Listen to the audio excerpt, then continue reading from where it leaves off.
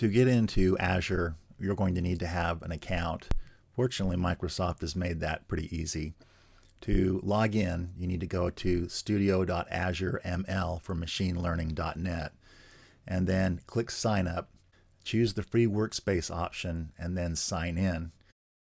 So here I'm typing in studio.azureml.net. You're brought to this screen and you have options here. You can sign up or sign in if you already have an account.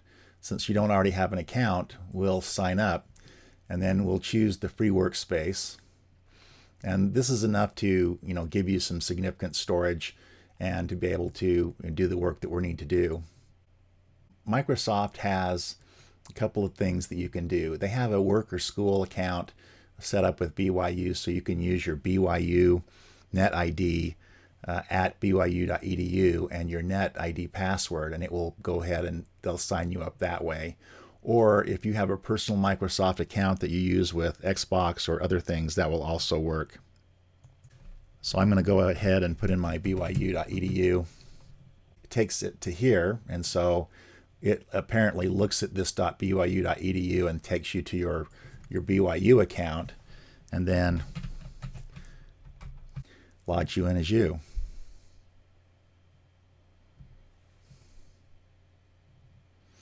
Now, I already have a Azure experiment set up here, so I can sort of walk you through an example. So I'm going to give you an overview of what is in an experiment and how Azure works, and then I'll walk you through the process of actually setting one up. The way Azure works is very much like other data mining tools in the sense that you're going to have to have data. You're going to need to split the data or partition the data. You're going to need to have an algorithm that you're going to attach to the split data. Off of that split data, from the training data, you're going to train your model. From the validation data, you're going to score the model. So when you do a split, there are two little handles down here or connector points, and you connect one to the training model, and then you connect one down to scoring your model. After you've scored your model, then you can evaluate your model. So all things like the ROC curve and the confusion matrix, or if you're doing a numeric prediction, model quality indicators such as root mean squared error and R squared will be shown down here. We're going to have to be able to get data, and you can see that I've got some data here, but you can add data by clicking here and then upload a data set from a local file. So here's our car buyer data set. Recognize that it's a CSV file in this instance. So here's my car buyer data set. Once you have a data set in, then you can go to do experiments. So how do we create a new experiment? So here in the experiment pane, we can select new and select a blank experiment.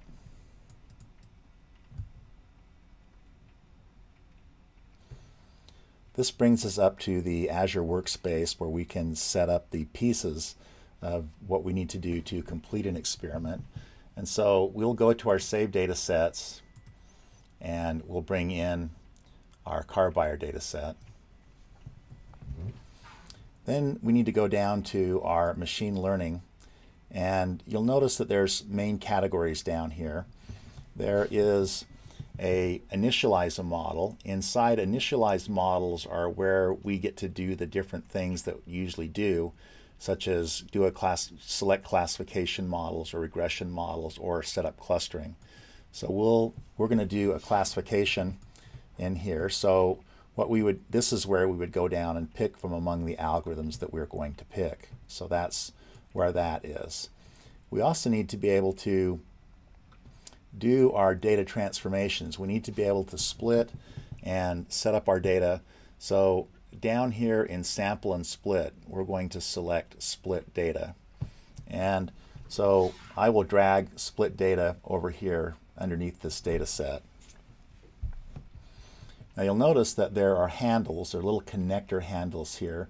So I'm going to drag this down here to this split action that's going to take place. And then I'm going to tell it that I, yes, I do want to split along the rows. So that's splitting amongst the records. I'm going to have 60% of my data is going to be in my training, and that will leave 40% for the validation. I want that to be those records to be to be randomly split amongst those partitions, and I'll set a random seed to be one here.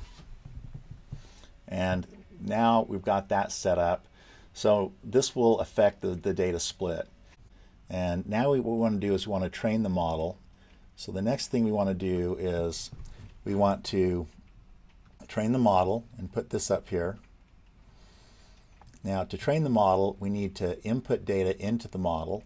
So I'm going to bring this connector over here so that we can bring our training data down. I also need to have a model. So I will go up and select my boosted decision tree.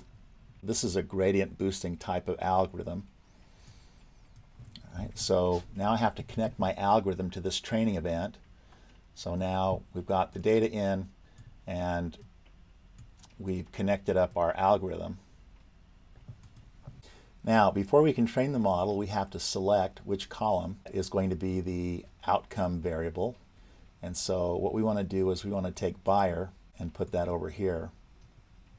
So now we've selected the outcome variable. Now the model can be run and it can train. Now we want to score the data. So we'll score the model.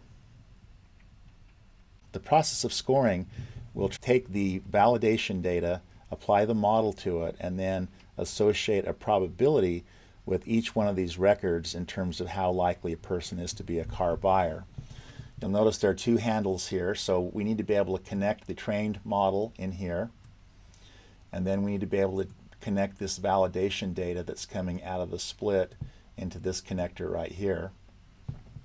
And that will allow us to score the model. So we can run that, run selected. So at this point, we've done our scoring. And if we were to go in and visualize the results of the scored data set, we'll be able to see how likely each person is to be a buyer. So this is what the algorithm thinks the probability of each one of these persons are in terms of their likelihood to buy a model. You see many of these probabilities are quite low. If you click over here on the scored probabilities, it will also show you that most of these people have a very low probability of being a buyer. And then once we get up to 0.9, once it shows you that there's a small group that has a very high likelihood of being a buyer. And so that's useful. We can see this histogram. Once we have our scored model now, what we need to do is we need to be able to evaluate.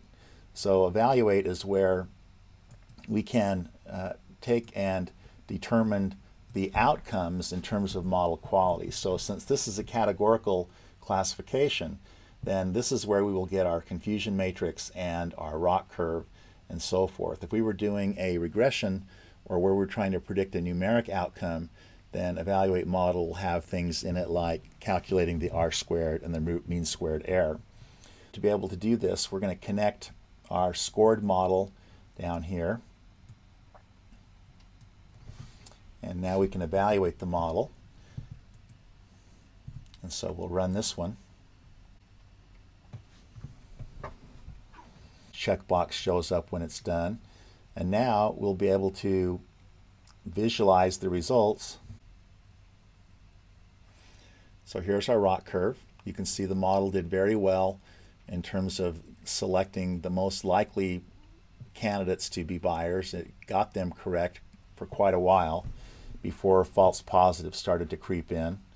Here is our confusion matrix information. So here's our true positives and false positives, our false negatives and true negatives.